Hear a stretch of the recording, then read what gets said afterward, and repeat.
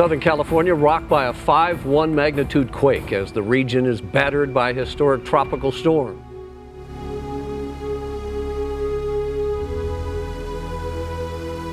To California today. First, the southern part of the state was rattled by an earthquake, and then Tropical Storm Hilary made landfall.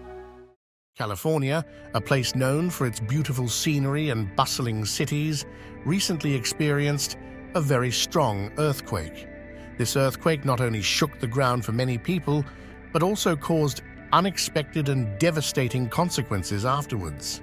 In today's episode, we're about to delve into the intriguing realm of California's current situation, exploring the potential risks of what might unfold. This is Reveal the Mystery. If you are curious to learn the mystery of the world, space, and beyond, consider subscribing. It was just another day in California. However, the people had no idea that far beneath the ground, a massive earthquake was brewing. When the earthquake finally hit, its sheer power sent shockwaves throughout the state. The epicenter, deep within the Earth's crust, became the center of unimaginable energy release.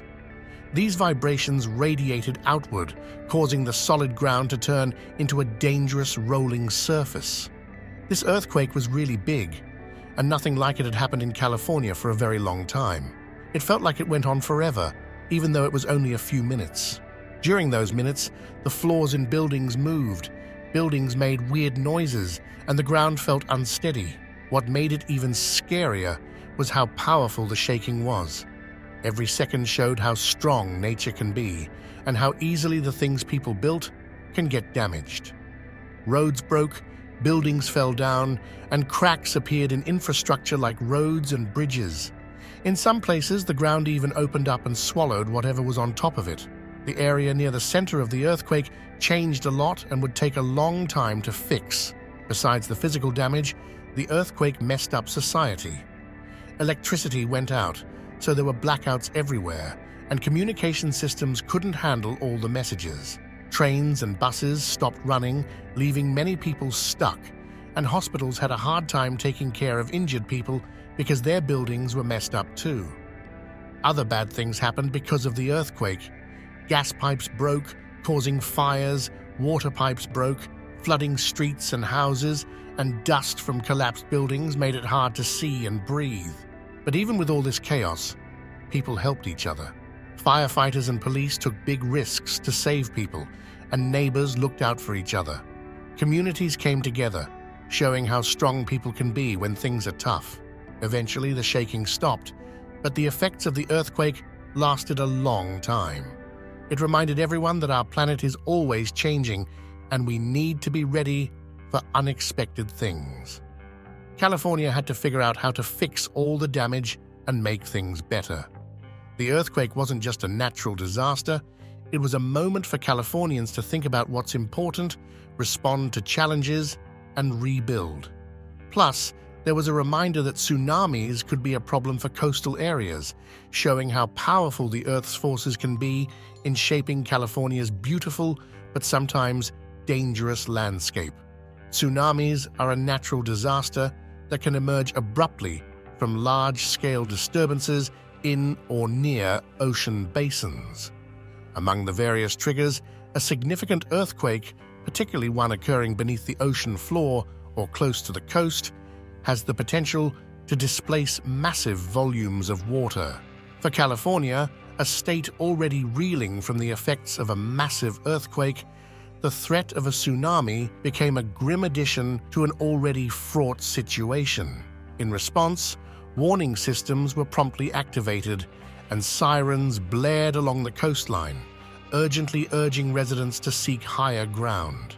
Evacuation routes, often practiced but seldom used, suddenly became paths of safety for thousands attempting to escape the potential sea onslaught. When the first waves reached the shore, their power became evident. These were not the regular gentle waves that typically lapped the Californian coast. Instead, they surged forward with relentless force, consuming everything in their path. Beachfront properties, once coveted for their picturesque views, now stood at the front line of destruction. Piers, boardwalks, and marinas symbols of leisure and recreation, face the full brunt of the water's might. In some areas, the sea eerily receded just before the waves arrived, revealing a landscape typically hidden from human eyes. This phenomenon, known as drawback, served as a precursor to the tsunami's arrival, providing a small window of time, a grace period before the full force of the wave struck. The ecological impact was profound. Delicately balanced coastal ecosystems, essential for local wildlife, were disrupted.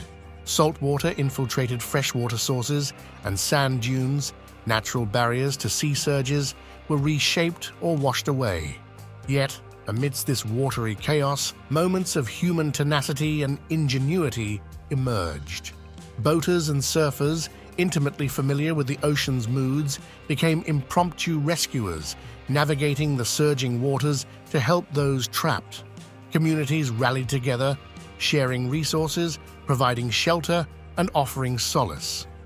For days after the initial waves struck, aftershocks from the earthquake posed the risk of further tsunamis. The coast remained on high alert, with residents and authorities closely monitoring any changes in the sea's behavior. The threat of another wave, another surge of destruction, loomed large over a region already grappling with recovery. The tsunamis that followed the earthquake were a stark reminder of the interconnectedness of Earth's processes. An event deep within the Earth's crust had ramifications that extended far beyond the immediate epicenter, touching lives both on land and along the coast. California's experience underscored the need for holistic preparedness, one that considers not just the immediate effects of a disaster, but also its cascading consequences. The waves may have receded, but their impact will be felt and studied for years to come, shaping policies, infrastructure, and the relationship between Californians and their ever dynamic coastline.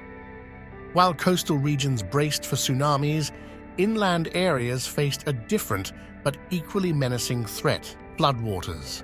The earthquake had not only wreaked havoc on structures and coastlines, but also disrupted natural waterways, leading to widespread inundation. The journey of these floodwaters began at their benign sources rivers, lakes, and reservoirs, which were sources of life and sustenance for countless communities. However, the earthquake transformed these water bodies, causing dams to breach, rivers to change course, and lakes to overflow their banks. As the waters descended toward the sea, they absorbed runoff from the rain-soaked ground, further swelling due to the quake's disturbances. On their way, the floodwaters encountered towns and cities where humans had settled, often with little regard for the unpredictability of nature. Roads turned into rivulets, parks became ponds, and residential areas, especially those at lower elevations, were quickly submerged, with streets and homes inundated with muddy, debris-filled waters. In our highly connected world, it's crucial to realize that getting ready for disasters shouldn't be limited to specific countries or regions. Instead, countries should work together and share their knowledge, resources, and best ways to prepare for and deal with natural disasters. By doing this, we can all become better at handling these kinds of emergencies.